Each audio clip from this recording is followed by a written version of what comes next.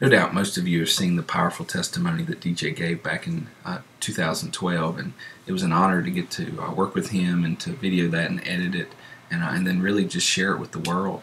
Uh, we, we showed it in service, and then we put it on YouTube, and it's been shared uh, uh, all over Facebook, and I know it's been viewed hundreds of times on on YouTube, and and I think you know that God's going to use that story in ways that DJ probably never imagined uh, especially now with his passing. Uh, it's it's going to start making rounds again, and it's really just glorifying God for everything that he's gone through, and uh, and just his hope and uh, and trust in God.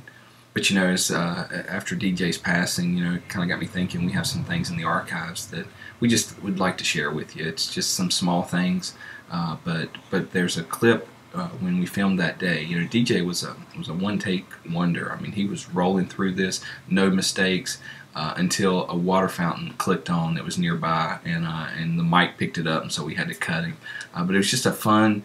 Uh, it was just a fun little moment there that we captured on video, and so I just wanted to share it with you guys, and hope that maybe it brings some comfort, maybe some joy in these sad times as we miss DJ. But it's just a good little moment to uh, to remember him by. So again, this is just from our archives. It was not supposed to be seen uh, by anybody. It was never planned to, but just thought we'd share it with you guys to to bring a smile to your face today as you think of DJ. So watch this.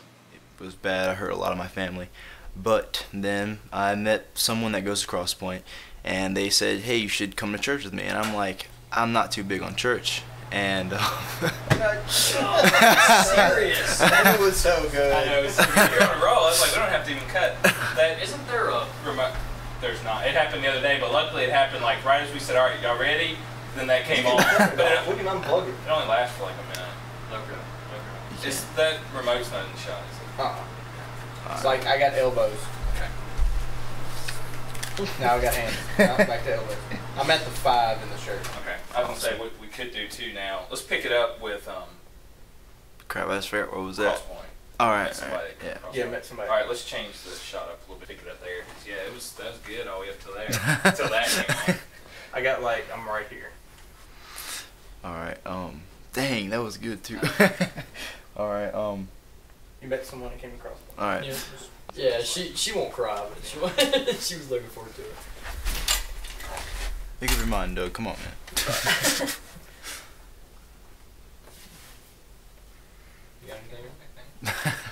All right, that's awesome, man. That's a wrap. Operator of the camera.